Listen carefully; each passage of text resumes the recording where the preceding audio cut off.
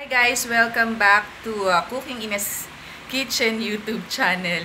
It's our day one for Food and Hotel Expo Manila 2018 and we are now prepared to go to SMX Convention Center, right Sista? Yes, see you later. So yun. Alligator.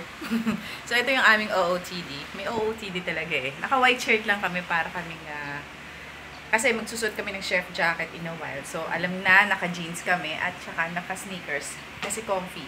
Yun. Official outfit. Yes. So ayan, we're just waiting for the grab to arrive.